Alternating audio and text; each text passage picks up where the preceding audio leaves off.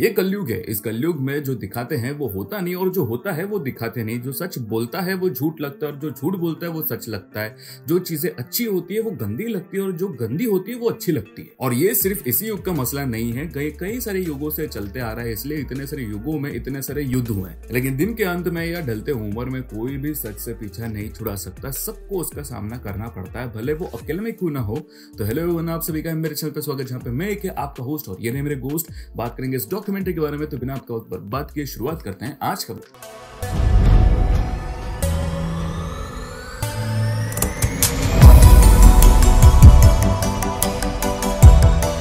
तो आज मैं बात कर रहा हूँ ट्वेंटी में नेटफ्लिक्स पर आए हुए डॉक्यूमेंट्री कम फ़िल्म के बारे में, जिसका नाम है Tinder splendour The Tindler Swindler?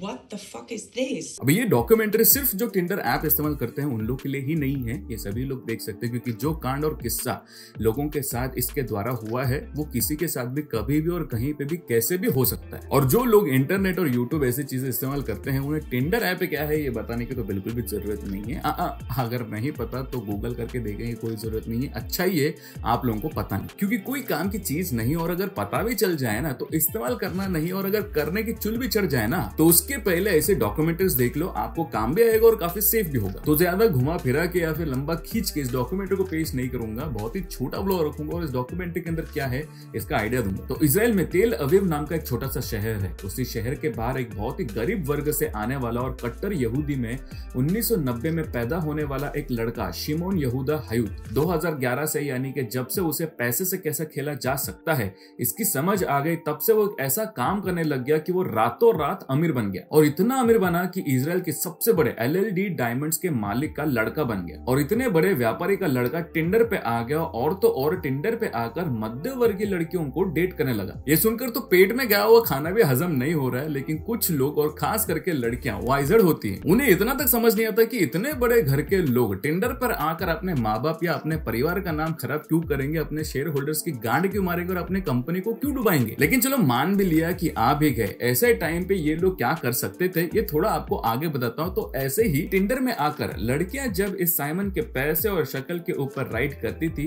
तो उन्हें भी ये बिजनेसमैन राइट करके उनका मैच हो जाता था। अभी बड़े बड़े सपने दिखाकर प्राइवेट जेट्स में घुमाकर उन्हें अपने झांसे में फंसाता है और फिर उनकी ज़िंदगी और पैसे के साथ क्या क्या करता है, कैसे करता है और कितना करता है, ये सब आपको इस पूरे डॉक्यूमेंट्री में देखने के लिए मिलेगा। इस डॉक्यूमेंट्री में आपको टोटल तीन लड़कियों की कहानी देखने के लिए मिलेगी।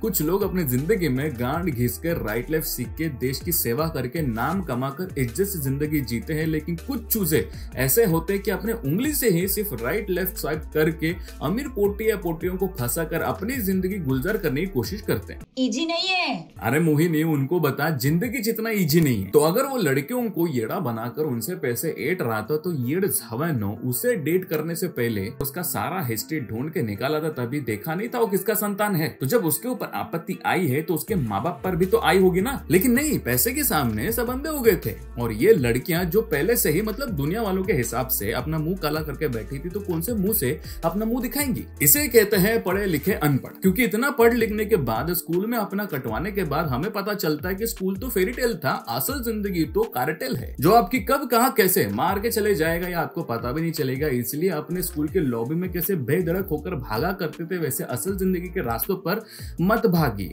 वरना आपका क्या हाल होगा ये आपको पता चलने से पहले ही आपका कट चुका होगा। वैसे तो आजकल स्कूल के लॉबीज भी इतने सेफ़ नहीं है तो आप सोचो कि बाहर तो आपके लिए तो पहले से ही कबर खोद के रखी हुई है। देखो, ऐसा नहीं है कि मेरे ज़िंदगी में मेरी कभी कटी नहीं या फिर मेरी कभी लगी नहीं। और ऐसा अगर आपको कोई बोलता है तो आपको चूतिया बना रहा है। सबका कटता है, सबका लगता है, बस कटने के बाद चुप रहता है, मुँह नहीं खोलता। लेकिन जैसे इस डॉक्यूमेंट्री में इन लड़कियों का कट रहा था, उसमें सिर्फ़ और सिर्फ़ मुझे इन लड़कियों की ही गलती लगती है, क्योंकि कभी भी तुमने उसके माँ बाप से कॉन्टेक्ट करने की कोशिश ही नहीं की, या फिर उनके भाई बहनों से संपर्क करने की कोशिश नहीं की। बस इतना ब्लाइंड ट्रस्ट अब ऐसे कौन से ग्रह से आए हो बे? एक क्लिक के ऊपर आजकल सारा इन्फॉर्मेशन मिल जाता है, लेकिन वो सब करने में बहुत मेहनत लगता है। इतना मेहनत किसी को नहीं करना। अगर इतना मेहनत करना ही होता तो अपने ज़िंदगी में कुछ करके आगे नहीं बढ़ जाते। ऐसे टिंडर पर आकर अमीर लोगों को थोड़ी ना फंसाते, या फिर खुद उनके चंगुल में फंस जाते। चलो, बहुत हो गए ताना बानी एक नेटफ्लिक्स का प्रोडक्शन उन्हें रेट किया है टीवी एम ए यानी कि आर ही समझ लो।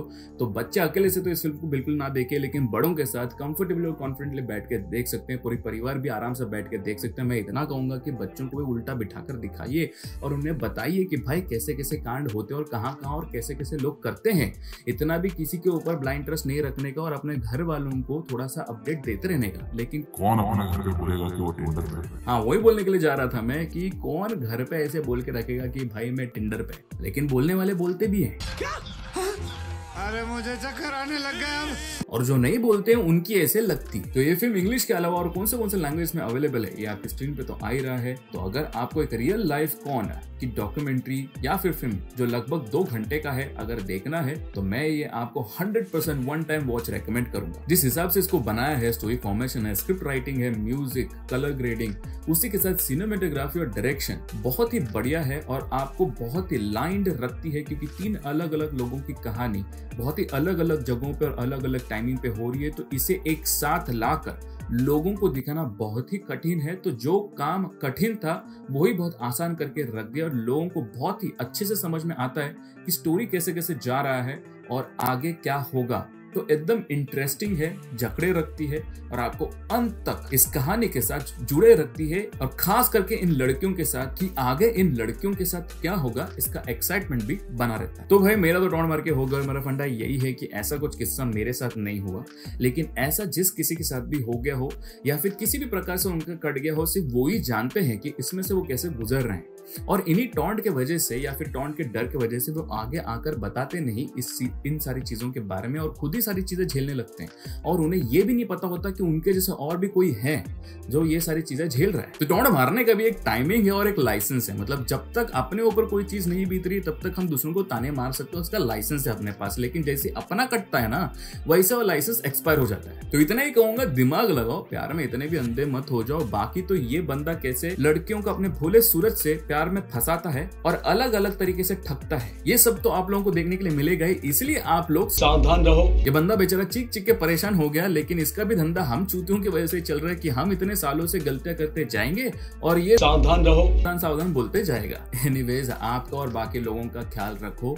ऐसे भोली सूरत और ढेर सारे पैसे देकर लालची मत बनो। पैसे कमाने के लिए घसना पड़ता है बाबा। बिना घसे किसी को पैसा नहीं मिलता है। और ये फेरी टेल वाले फ़िल्में देखना जरा कम करो और असल कड़वी ज़िंदगी को ज़्यादा समझने की कोशिश करो। और अगर ठगी ही करना है तो जरा देखो, ये ऑनलाइन क्लासेस भी देता है और इतना चार्ज करता है। जी हाँ ठगी के क्लासेस भी मिलते हैं ऑनलाइन तो अगर आपको मेरे हिसाब पे थोड़ा सा भी भरोसा और मेरे ब्लॉग्स अच्छे लगते हैं तो मुझे कमेंट करके ज़रूर बताना और इससे सब्सक्राइब शेयर और लाइक ज़रूर करना। भाई फ्री है। आपसे पैसे कौन से ठग रहा हूँ? ठगने वाले ऐश कर रहे घसने वाला अभी तक घस ही रहे हैं। तो बस, आज के लिए इस ब्लॉग में इतना ही। अगर आपको मेरा चाहे ब्लॉग कंटेंट पसंद आता है तो उसे लाइक से सब्सक्राइब ज़रूर कीजिए। सब्सक्राइब करो, घंटे आइकन दबाने का तो तुरंत वो ऑल बटन दबाने का ताकि जब भी नए नए ब्लॉग्स आएँगे, उसके नोटिफिकेशन सबसे पहले आपको आएँगे और अगर आप मेरे चैनल पे नए हो या फिर मैं दूसरे ब्लॉग्स में देखना चाहते हो तो ऊपर आई बटन पे या फिर एंड स्क्रीन में, उसके लिंक्स आ रहे हैं, आप वहाँ पे भी जाकर देख सकते हो तो आपसे फिर मुलाकात होगी मेरे दूसरे ब्लॉग पे।